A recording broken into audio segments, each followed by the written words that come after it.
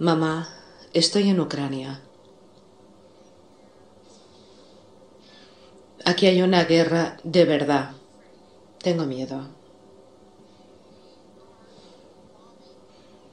Estamos bombardeando todas las ciudades juntos. Incluso estamos disparando contra civiles.